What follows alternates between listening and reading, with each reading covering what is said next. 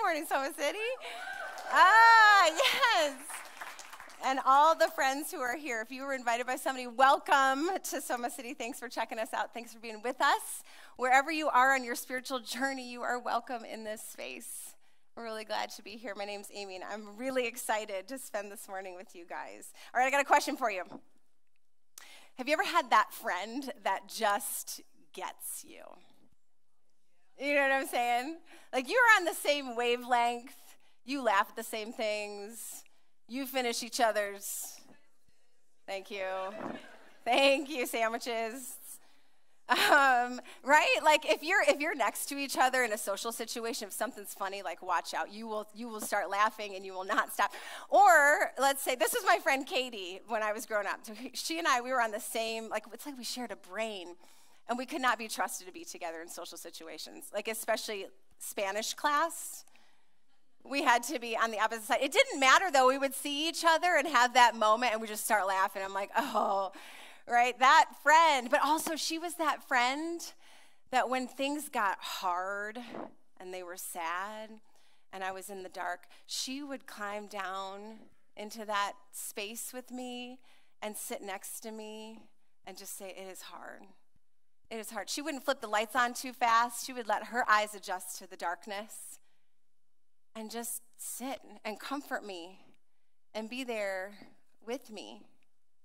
Right? That's she was she was that kind of friend. I don't I don't know if, if you have that friend in your life right now and it's good and you just it's the best to have that friend or if you have you have had that friend in the past but man something shifted something changed in that relationship and you're missing that friend. Maybe they've moved away. Friends, I've had so many people move away who are dear and, and you miss them. What if I told you that the Holy Spirit is the best friend you could ever have? But right? But you didn't you didn't know you could have that friend. What if I what if I said that? What if I said the, the Holy Spirit is the best friend? Now, I realize in a room this size, with the lived experiences in this space, when I say the words Holy Spirit, we're going to have a variety of, of thoughts that, you know, concepts and pictures and images and experiences that pop into our head, depending on your background and, and what you got. So I want to I want to tell you about when when I was little. This was my concept of the Holy Spirit. So I went to church um, on and off growing up, and the church that I was in, there was this purple flag that hung on the wall that had a white bird on it and a green twig in its mouth. And to me, in my little eight year old mind, I felt like, oh, that the Holy Spirit look, feels like God's mascot for his team. You know what I'm saying? Like, like Cincinnati has its Bengals, right? Go Bengals. Is that? Detroit has its Lions. I never know what I'm going to get. First service was like Bengals. And, and Team God has its doves, which is not fierce when it comes to football. You know what I'm saying? But this was my little brain. Like, I felt like if you join Team God, you get a purple jersey. You get a helmet with a dove on the side, and like they give you twig stickers for like every good thing that you. I'm just telling you what I'm thinking. Can I? Is that okay? That that that was my. Now, for you, some of you guys, I wonder if if you have some pictures or some images of the Holy Spirit in, in your brain, right? Maybe some of you guys, the Holy Spirit feels like a feeling, like those like chills that run up your spine when you get a good story or someone tells you something. The Spirit feels like a feeling. Or maybe the Holy Spirit feels like a genie, and you're really hoping you get three wishes granted in your life, especially when it counts. Like, man, I just am really a genie there, or, or maybe the spirit is with the cast and characters of like people who float, like Yoda, the Tooth Fairy, Holy Spirit. I just, you know what I'm saying? Like just kind of. I was talking to somebody in the bathroom, maybe between services. She's like, "Yeah, I felt like he, he floats." I don't know what what comes into your mind, but this is what I know. If the Spirit of God were to walk in the back door and, and, and come sit in church today, we would all want to go and get his number and invite him to lunch because he's that mag- magnetic and he's that dynamic. We would want to see what he was up to on Friday night. We'd be like, You, you want to hang? Like, are you, is that tacos, queso, can we do that? Like you would want to kick it with the Spirit of God. You really would. He is the best friend we have always wanted. Maybe we never thought we could have. Like if if things go really well, you'd want to call him up and be like, guess what? I just got a promotion. If if if stuff hit the fan, you like that version? Um, you you would want to call him and say, like, I don't know what to do next. Like, can you help me? And you, you would want to be with him. So here's the deal. What, is it, what does it even mean that he's our best friend? We're going to talk about that this morning. What does it mean to live life with him? And so here's my prayer for every single one of us in this room this morning, friends. Some of you have been around church and, and the Holy Spirit for a long time. You're like, I got it. I am praying that you would walk away with a deeper awareness of the Spirit of God. Would you be willing to have open hands about, about Him today? Yes. And if you are new to the Spirit or you're new to God, you're new to church, you're like, I don't even know how I got in this space right now. I'm praying for you this morning too, that you would also be open handed to hear about who the Spirit is. So, three thoughts today on the Spirit. Thought one the Holy Spirit is a person. And I have a dot, dot, dot, because I'm going to add to that point. We're just going to stop here for a second. The Holy Spirit is a person with a capital P. He's a person. The Holy Spirit is, is not an it, and He's not a feeling. Though, let me say this don't our friends evoke feelings inside of us? Right? When a friend tells you, hey, you did a great job on that, you feel encouraged, you feel emboldened, you feel confident. You're like, okay, I can do this. But that feeling came from what that friend said to you. Right? There's, there's, you know, if the feel, if, if somebody calls you out, if a friend calls you out, I was like, hey, you might feel thankful or annoyed, depending on the day. But that friend evoked a feeling. And that's, that's what the Spirit of God, that's what who He is. I just want to hear, I want you guys to hear this. The Holy Spirit is a person who can inspire a lot of feelings, but He's not a feeling who inspires people. That's, you picking up on that? Yeah, I just, we're going to fill out our, what we think about the Spirit of God here. And just to be clear, when you see the fruit of the Spirit, things like peace, joy, those are feelings. He loves to provide those things in our lives. This is who he is. So, the Spirit of God is a person, capital P, meaning he is the third person of the Holy Trinity, which is so mysterious, friends. I mean, the fact that we have three in one, that we have God the Father, God the Son, and God the Holy Spirit. Each of them 100% God, but all in this community together, giving and receiving love between one another. And they're communicating and they, they have different jobs and roles and things that they do. And they're so sustained by their love for one another, they don't need humans, but God has invited us into relationship with them and their love so sweet and so gracious. He's a person. All right, so how do we even know any of, like, how do we know he's a person? We're going to look at what Jesus taught us about the Spirit of God this morning. So if you have a Bible, and I am so encouraged that people are bringing physical Bibles.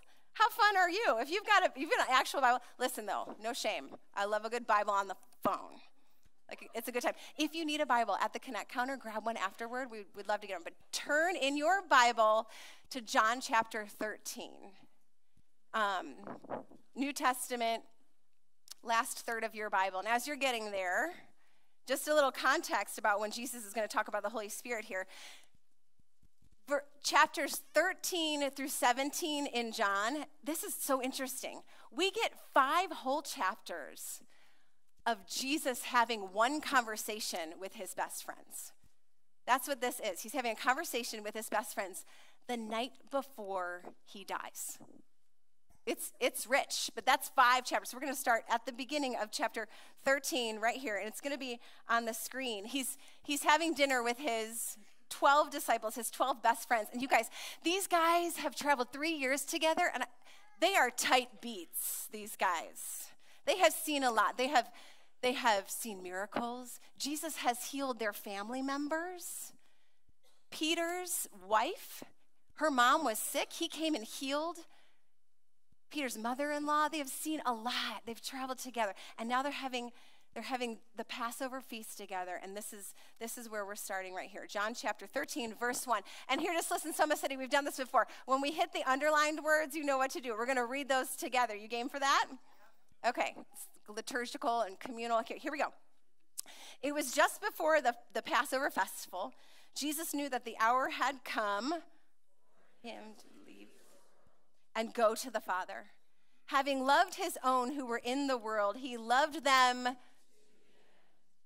are you noticing this? He's going to leave them, and this is the end. This is concerning. Now, he, he had been talking about this with the disciples for a while, but they weren't really picking up what he was putting down. Like, this, they weren't grasping a lot what was happening here. And this is what's happening. He's, he's leaving, and he's, t- he's talking about this over dinner. I don't know if this has ever happened to you, where you go out to dinner and you're looking forward to it. You're like, this is going to be a good time. It is Friday night. I'm going to get some apps. I'm going to get some good drinks. We're going to have some lighthearted conversations. It'll be great. And you sit with that person across from you, but then they drop a bomb. And you're like, I'm not even hungry anymore. What is this? Friends, this I did this to a boyfriend in high school. I was like, you think we have something? We don't. Um, this is not Jesus breaking up with his disciples, though, you guys. That's not what this is. I just want you to see the shock, the shock value. They're like, what is happening? What's going on here? Okay. He's there, he's leaving, and it's a lot for them to process. And he's like, he's he wants to talk about comforting them in this moment. I'm going, I, I want to comfort you, and this is what this conversation is. Turn to your turn your page, John 14, still in this long conversation. Go to John 14, verse 25, and he's going to talk about the Spirit here. He says, I'm telling you, this is Jesus talking, I'm telling the, you these things now while I'm still with you. We're at dinner, we're talking, we're together, I'm talking about this. But when the Father, as my representative, that is the Holy Spirit, He will and will. Okay, Jesus is talking about the Spirit as a person. Do you see the, the, the Spirit has some jobs to do? He's going to do some things. He has a will, he has a mind. There's two verbs here. He's going to do what? Teach and remind. Turn to somebody and say, He's going to teach and remind. He's going to teach and remind. Yes. Listen, and what's He going to teach and remind us? Everything that Jesus was teaching, which He's the fulfillment of the whole law. It is God's word which is fun. The more you read God's word, the more the Spirit of God is going to teach you and remind you all kinds of things. It works like that together. And friends, this is good news that the Spirit of God is going to teach and remind. But I don't know about, I don't know about you, but do you ever open your Bible and you read it and you're like, I have no idea what this means? Please tell me this happens to you. Yes. Friends, I'm in seminary right now, and we are reading the passages that I have avoided because I don't know what they're saying. And I'm sitting there, I'm like, Spirit, you're going to have to teach and remind me right now because I, I don't get it. And then he teaches me and then I forget it. And so then he'll remind me.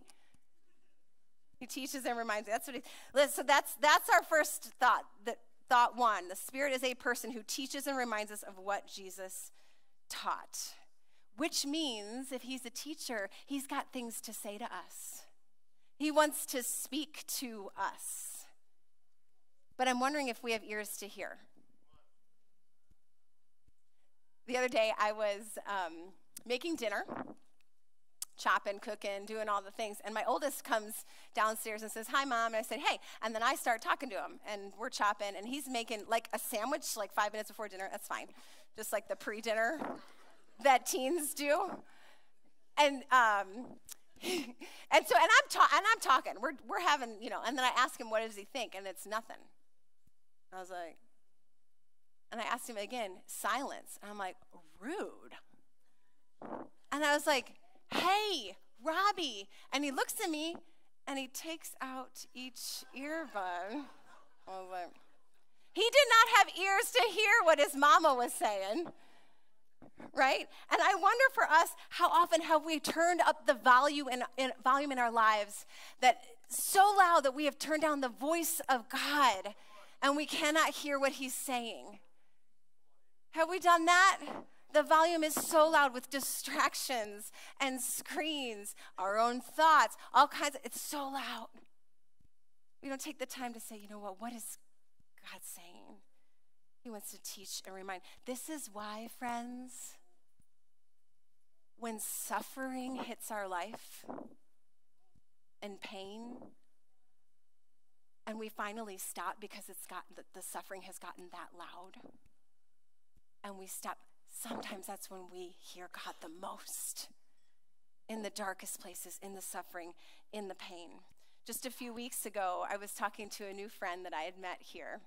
I love talking to you guys and meeting you guys and hearing your stories. It's, it's fantastic. She was telling me, this is several years ago now, that she found herself in a hospital room next to her daughter who was in a hospital bed in a coma unexpectedly. And she's in that room, and they were not sure what was going to happen, if her daughter was going to make it.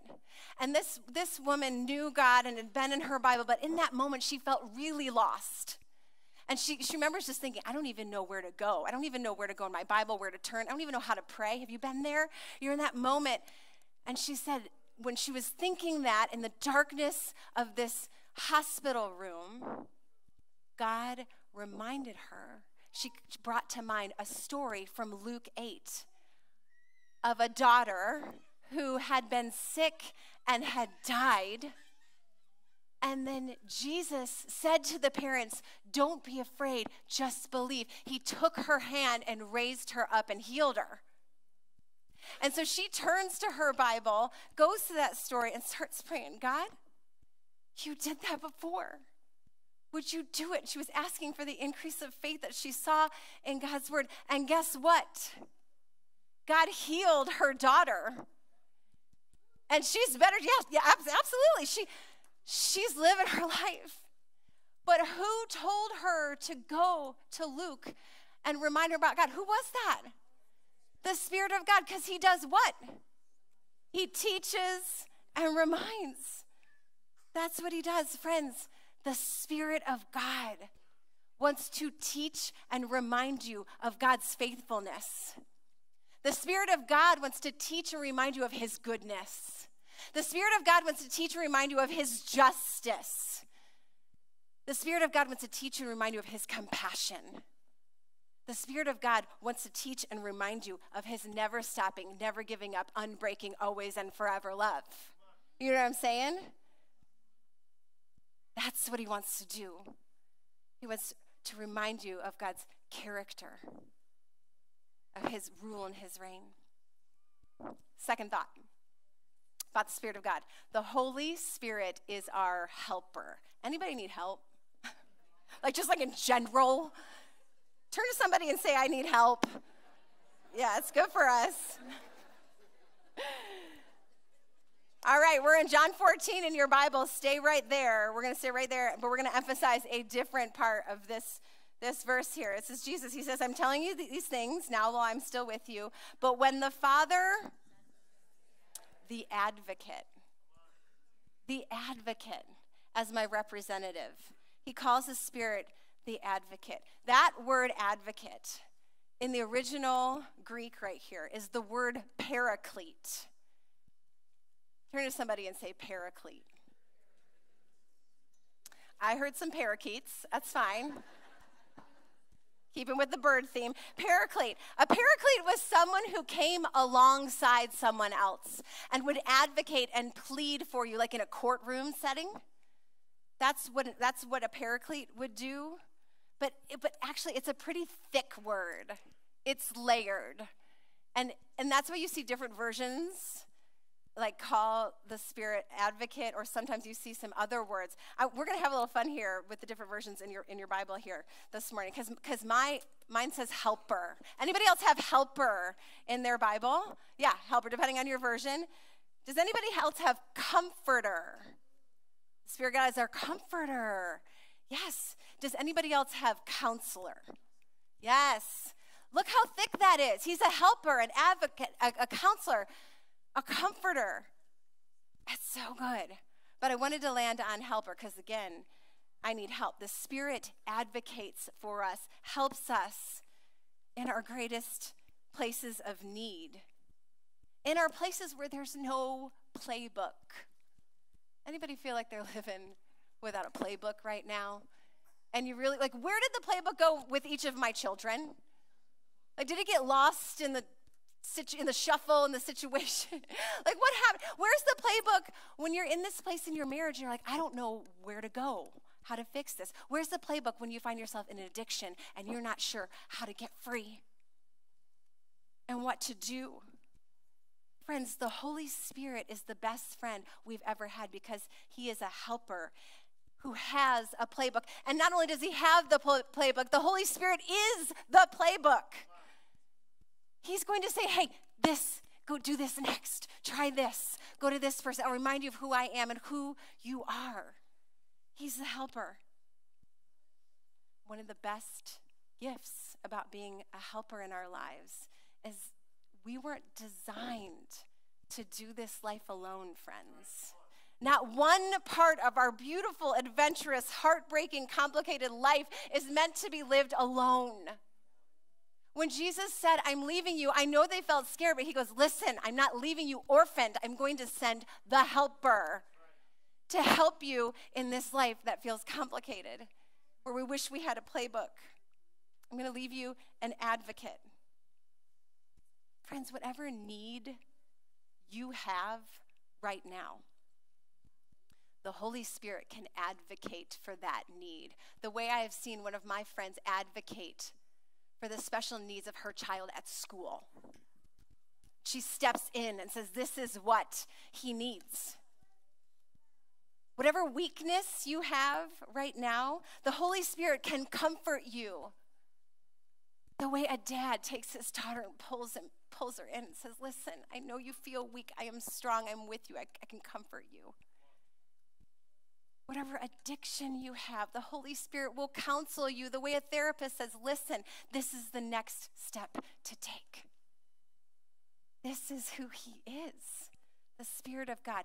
Listen, the best forward prayer you can pray is this Holy Spirit, help me. All day long. Holy Spirit, help me. And don't you dare feel like you're not allowed to pray, pray that because you got yourself into that mess. Do you know what I'm talking about? You're like, I can't ask for help. I dug the hole and I climbed into the pit and I'm down here. Like, I, listen, that is a lie the enemy is selling and you're not buying it. You, he is called the helper for a reason. Help me, Holy Spirit. Pray it a lot, all the time. No shame in that game. Friends, the other day I was at a parenting loss. I was like, I do not know what to do in this situation. And I, I was writing this sermon, and I literally was talking about this forward prayer Holy Spirit, help. And so I closed my computer, and I had a little bit of a drive, and so I was like, well, Holy Spirit, help me. I don't know what to do. I'm about to walk into my house and I need to address this situation. I don't I don't know. Where's the playbook? So at, I prayed that, Holy Spirit help me. And then right after that prayer, I had an idea. And I don't know if this happens to you. If you ask God for help with an idea, you're like, is that idea God? or is it Amy? like, what's happening? You know, what's Here's what's really sweet. This idea did not contradict God's word. So that's a hot tip. The Spirit of God will never tell you anything that does that contradicts his word. He's not going to say steal, lie, destroy, any of that. It's going to smell like the fruit of the Spirit, right? Love, joy, peace, patience, God. It's going to look like that. And so I thought, you know what? Amen. I am going to assume this is the Holy Spirit. I'm going to walk by faith. So I took this idea. It wasn't anything crazy, but I was just like, all right. I applied the idea, and inside my house with one of my children, I'll tell you what, you guys, it changed the entire narrative for the rest of our night. This one thing, because he's a helper. Holy Spirit, help me. Pray it all day long, guys. That's who he is. All right, point three. Last thing I want to say the Holy Spirit lives inside of you. He lives inside of you. You're in John 14. We're going to back it up just a few verses to, to verse 16 and 17. And this is Jesus. He says, Still talking about the Spirit with them. I will ask the Father, and He'll give you another advocate who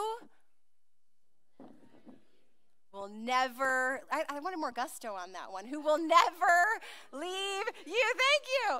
He is the Holy Spirit who leads us into all truth.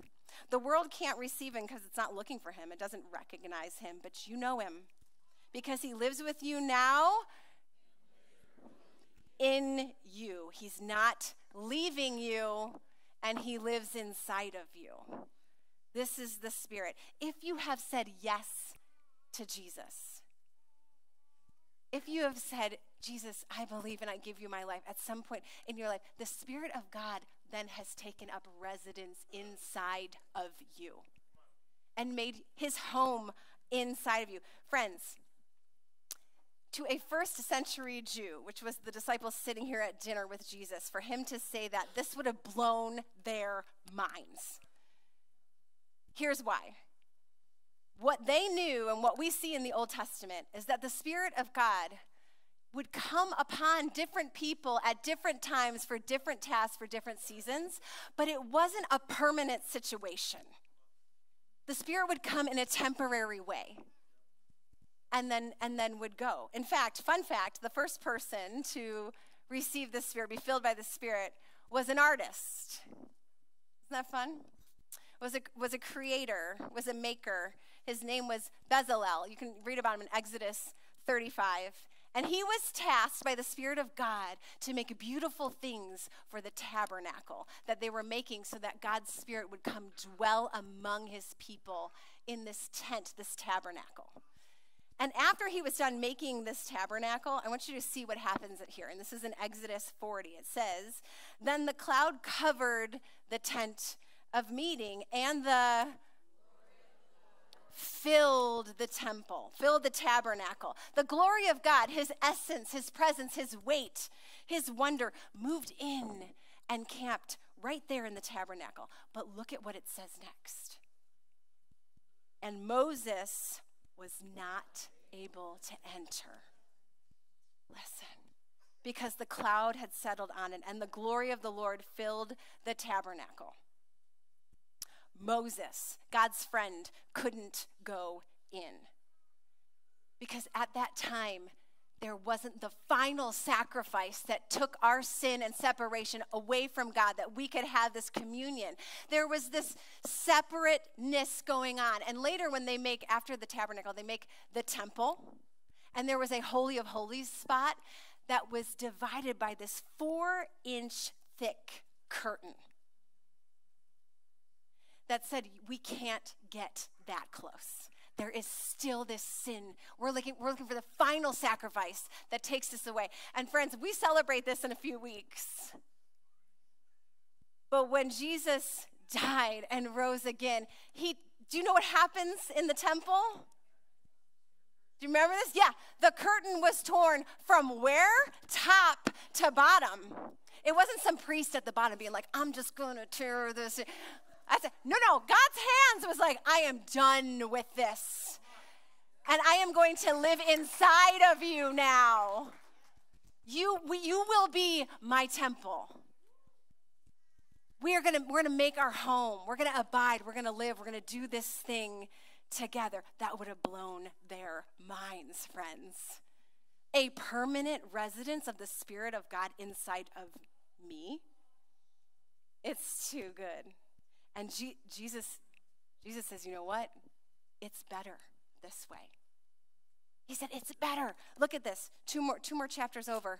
John chapter 16, taking you in this, this passage here. Look at this, 16, 7. Jesus says, but in fact, it is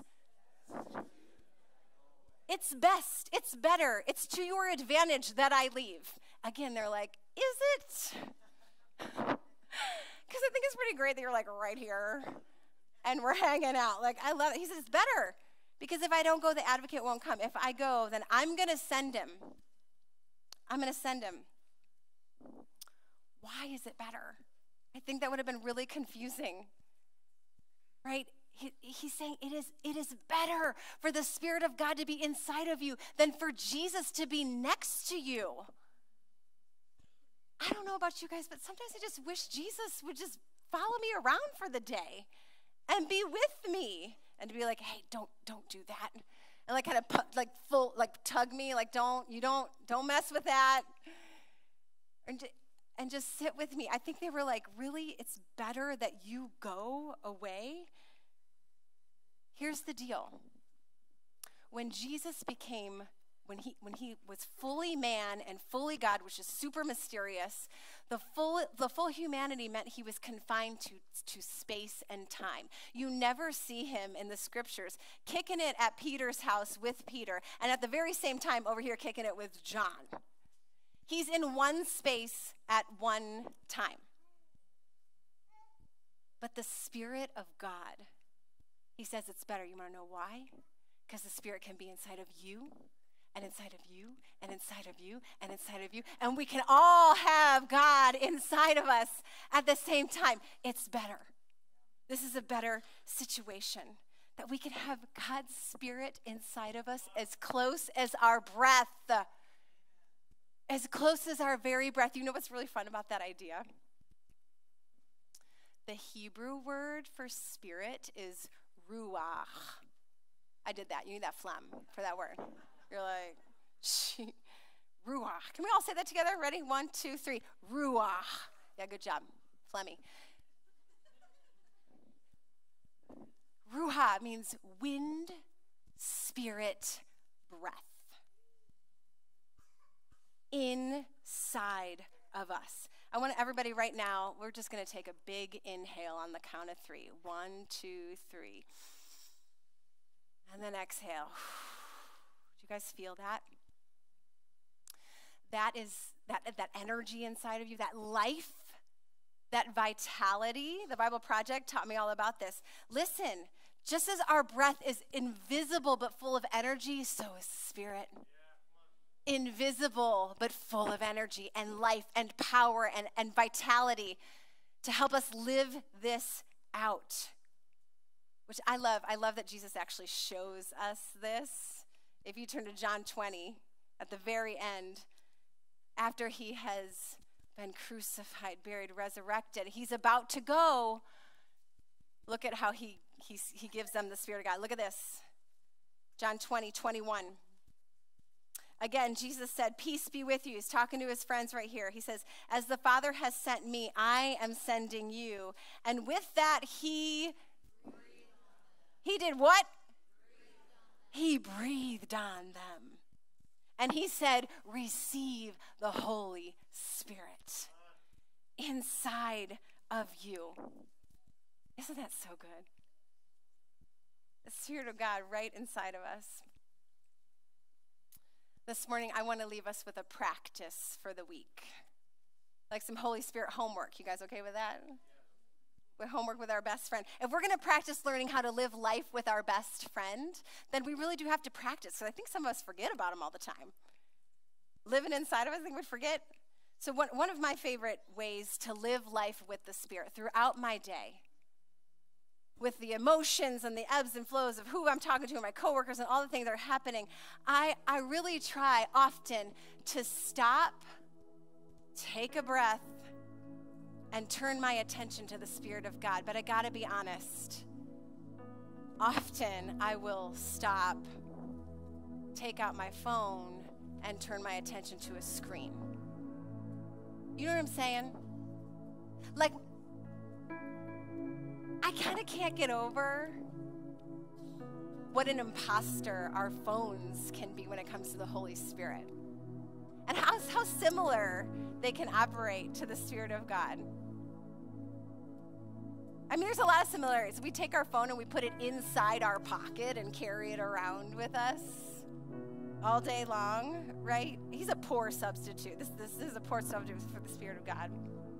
A study was done in 2021. It's a couple years old that the average American checks their phone 344 times a day. Listen, I do not want you to hear shame when it comes to this. this that's not what the, this is not about how bad your phone is. This is about how good the Spirit of God is. What if we turned our attention to the Spirit of God 344 times a day? What would happen? What adventures would He take you on? What things would He teach to remind you? What things would you laugh about? I mean, I think we could just have so much fun when it comes to the Spirit of God. My friend, Pastor Sharon Hodde Miller, she says this Our greatest commodity we have every single day is our attention. I was thinking about that, that idea of to, to pay, that the phrase we pay attention to something. Like we, we literally spend our mental and emotional energy on something. And what would it look like for us to pay our attention to the Spirit of God inside of us? But man, I this is me. My phone feels easier. I can feel it. I just I want to just distract. But God's like, turn to me. I have things I want to talk to you about. If you would turn down that volume, Amy, I got things. I got things to say. What if we turned our attention to the Spirit of God as much as we turned our attention to a screen? So here's our practice this week. You can take a screenshot, we'll share this, but it's this five minutes for five days. What would it look like if you were quiet for five whole minutes for five days in a row? Where you just turned down the volume, you put down your phone, you just turned it all down, took out your earbuds, and you, you, you said, I'm listening, Spirit. I, I gave us a breath prayer that you could practice in that moment where you inhale just inside your mind and you, you, you address and you say, Holy Spirit, and then you exhale and you say, I am listening. I wonder what he would say to you in that moment. What he wants to remind you of. What he wants to lead and guide and empower you to do. And listen, friends, if you take this challenge on and you don't hear anything right away, you are normal. That's okay. But if we don't practice, how are we going to know? How are we going to know his voice? We don't turn it all down and just listen and ask and have open, humble hands to hear the Spirit of God. I know He wants to say things to you. The most the thing He says most often to me, friends, is I love you. He calls me beloved all the time. And I know that lines up with his word because you know that moment in Matthew when Jesus is baptized and the Spirit comes down like a dove and the Father's voice, you know what he says? This is my beloved Son. Beloved. He has things he wants to say to you, he has words for you. He might say, hey, let go of that relationship. He might say, I delight in you. He might say, give away your shoes. He has said that to me before, and it was an adventure. I, we can have a lot of fun with the Spirit of God. If He says something to you, write it down, take a minute, sit with it. Take it to a friend. Does this sound like the Spirit of God to you? Does this line up with His Word? Let's, let's practice listening.